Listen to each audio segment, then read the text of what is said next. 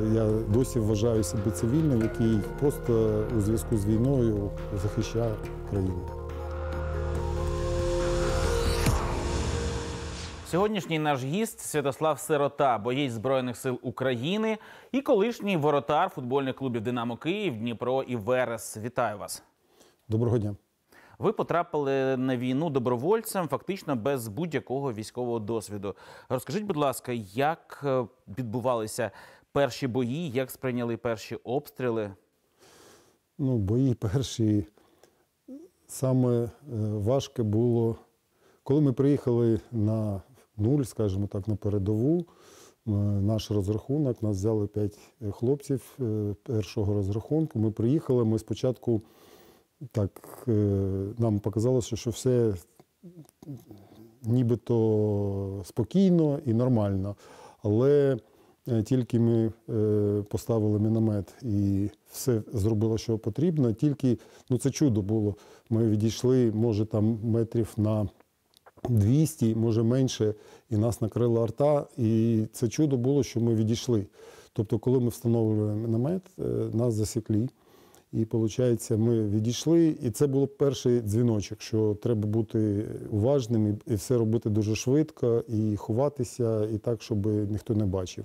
А другий дзвіночок був на наступний день. Ми ще теж так не дуже це е, сприймали. е, І ми в розбомбленому п'ятиэтажці такої, і ми вранці е, прокинулися, пішли снідати, і тут русські відпрацювали танком і просто ну, по будівлі десь 30 прильотів було. І ну, це е, передати словами трохи неможливо, тому що ну, дим такий стоїть, все рушиться, все таке. І просто ну, так було дуже неочікувано. Е, Це було от перші два входження, скажімо так, в е, безпосередні бойові дії. Це було поблизу Лисичанська, так? Це було золоте. Золоте 4. У нас там укріплення була наша позиція. І, ну і після цього вже ми повністю зрозуміли, де ми знаходимося, що від нас треба. Коли усвідомили, що ви стали військовим, а не цивільним, як відбувалася ця внутрішня трансформація? Та я навіть не знаю, я навіть зараз вважаю себе цивільним, тому що з хлопцями там спілкуюся, вони там знають про різну зброю, як це робити. Ну, чесно кажучи, ми коли приїхали, я от на мінометі там навчився, там з автоматом навчився, і от те, що ми працювали, те я знаю. А все решта я не знаю. Тим більше я ну, не командир якийсь, який е, знає там військові там все, а знаю безпосередньо, скажімо так, в полях, що робити, там, як переходити, виносити, готувати міни, там, стріляти. Там, ну, все решта я не знаю. Тому е, я е, досі вважаю себе цивільним, який просто е, у зв'язку з війною захищаю країну. А скільки часу знадобилося для того, щоб опанувати міномет і розпочати виконувати бойові завдання? Ну, наш розрахунок два тижні. Ну, як би, може, і треба і більше, а може менше. Ну, ну, така була ситуація, що іншої можливості не було. Ми е, приїхали в резерві, стояли в Лисичанську, ще нічого не вміли, і там вже вчилися, ну і вчилися, вчилися, вчилися. І потім приїхав комбат, каже, так, е, збираємось, поїхали. Ну і все. Тобто, коли треба, е, вчишся дуже швидко. Було таке, що під час обстрілів з'являлося відчуття страху. Як його вдавалося опанувати, побороти? Ну, хто каже, що відчуття страху немає, то або бреше, або я не знаю.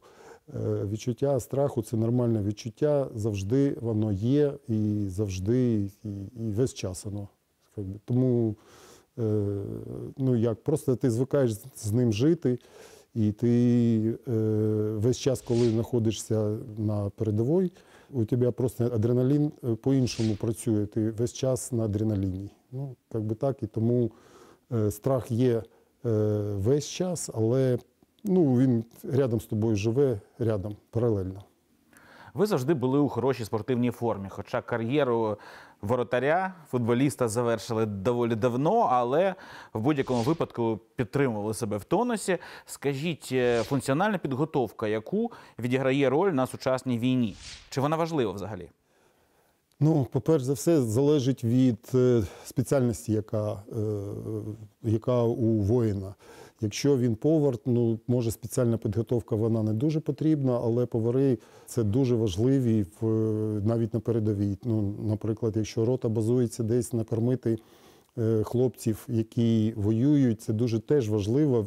Повари е, підіймаються там у п'ятій годині, тому що о сьомій вже треба накормити 100 людей. Е, Потім ти не маєш часу відпочити, вже готуєш обід і потім вечерю. І... Але спеціальної підготовки не треба. Але якщо ти, ти, наприклад, там в піхоті або в силах спеціальних операцій, то безумовно фізична підготовка треба е, обов'язково треба мати. І не тільки фізична, ну і спеціальна, залежить від спеціальності. Ну, от ви мінометник. Він е, доволі важкий міномет, так? Е, Не е, дуже. Плюс на нулі знаходитеся. Ну, я був на 82-му міномету, він не дуже важкий, скажімо так. І ну, спочатку, перший раз, коли береш, думаєш, о, там ну, таке. А потім ти звикаєш і ну, як, як чемодан з собою бігаєш, тому нічого там важкого і складного немає. Е, Але фізична підготовка має бути, тому що ну, я думаю, що це не секрет. Я думаю, що всі знають, що е, спочатку, коли ти починаєш працювати, ти вже є мішенью для ворожої артилерії. Тобто треба відпрацював, треба дуже швидко біг, ховатися. Коли колеги-футболісти дізналися, що Святослав Сирота на передовій воює, яка була реакція? Чи пропонували допомогу, чи зв'язувалися з вами взагалі? Ну, мені сложно сказати, коли вони дізналися, але більше, е, безумовно, е, я підтримував зв'язок з е, декількома хлопцями. Ну, там особливо допомогти там нічим було. Мені присилали передачі, тому що там, от як зараз кажуть, що Бахмут закриває для цивільних, у нас там було все закрите, тож цивільних не було взагалі. І не тільки цивільних, а взагалі там нікого не було. І ми, ну, це було важко. Раз на два тижні привозили там е, продукти, воду.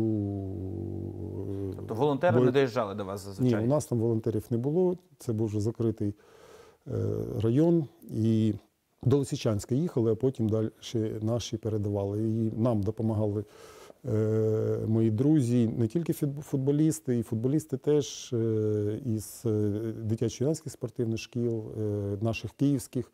В основному це е, 10-та школа, е, дитячо-юнацька спортивна школа, школа баскетболу. Вони допомагали, пере- передачі передавали. І з Рівненського Вереса мій друг Євген Донцов він дуже багато робив і робить для Збройних сил України. Багато чого і передачі, і організує гуманітарну допомогу. Це ну, був дуже здивований, коли він сам написав мені і організував передачу. Ну, тобто я в вересі рівне був дуже-дуже давно, а тут е, пам'ятають, мені було це дуже приємно. А керівництво тих клубів, де ви грали, там Дніпро, Динамо, якось е, виходило на вас? Ну, коли я по- потрапив е, у госпіталь в Дніпрі, зі мною зв'язався Юрій Береза, президент е, Дніпро 1 сказав, що все, що він ну, може зробити, якщо мені щось потрібно, то е, Дніпро готовий допомогти. Ну, просто мені нічого не потрібно було. І у нього недавно був день народження, ми зв'язувалися, я його поздоровляв з днем народження. Тому Дніпро пам'ятає керівництво, а хлопці прості. Олег Шалаєв приїхав відразу з е, Андрієм Полуніним. Вони, може, перший або другий, я так не дуже пам'ятаю. День приїхали, привезли форму, тому що ну, перевдягнутися нічого не було. І вони відразу приїхали, там організували мені, всі, всі допомогли. Я вдячний, що і Дніпро теж пам'ятає. Тобто я так. Мені особисто дуже приємно, що е, може там я недовго був там в одному клубі, в другому клубі, але обидва клуби залишились в серці в моєму. І ну, я думаю, що якийсь внесок е, зробив гарний, тому що вони пам'ятають і допомагають. Ви вже згадали про поранення, ви пережили контузію. Як це сталося? Скажіть, будь ласка, і як е, відбувалося відновлення? Ну, як сталося, як у багатьох сталося, ми були на позиціях, і танком обстрілювали, і е, прильоти прийшли. І, і я скажу чесно, біля мене там трохи там, метрів 30 був мій друг, там, побратим Іван. Е, Йому менше повезло, мені більше повезло. Е, Ну, умовно кажучи, його він отримав ще осколочні поранення. П'ять операцій робили. Ну, у мене десь, я не знаю, той самий приліт був або інший, тому що у нас вони дуже точно працювали. Ну, прилетіло, я так е, не особо дуже пам'ятаю, як воно було, тому що все було так дуже за е, замедленому темпі. І як би, вроді так пам'ятаю, пам'ятаю, але десь пропадає там в пам'яті. Я е, пам'ятаю, що коли його вивели, я ще пішов на дивитися на огніву точку, щоб ніхто не йшов. А потім, коли вже нас змінили, йшов до місця дислокації, ну теж дійти не зміг. Ну там падав, там щось там лежав. А вже коли прийшов, дякую хлопцям, які були поруч, вони там розділи мене, поклали, і я там десь не знаю, там 10-12 годин взагалі був е, обездвіжений. Я думаю, що якщо я б щось почав там рухатися, я думаю, було б не дуже гарно. Ну, ось таке. Що б порадили тим, хто зараз іде до війська, на які речі слід звернути увагу?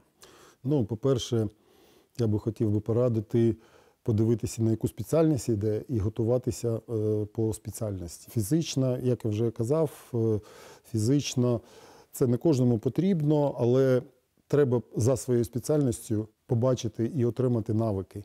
Ну, якщо ти, як ми вже казали, повар, то подивись, що можна робити там, коли в тебе є тільки, е, наприклад, капуста, е, картопля і вода. Але треба нагодувати і там і консерви. Треба зробити якось так. Тобто навчись цього. Якщо ти йдеш на піхоту, то треба вже думати, як е, ходити там двойками, тройками, як окопуватися, не просто зробити ямку, а як правильно зробити, як е, зробити схрон, скажімо так. Ну, тобто е, такі речі для кожної спеціальності вони особливі. І готуватися треба, да, але за спеціальністю. Тактична медицина, наскільки вона Обов'язково. важлива? Обов'язково тактична медицина для всіх, для будь-кого, Е, чи то повар, як я вже казав, як, чи ти БПЛАшник, чи,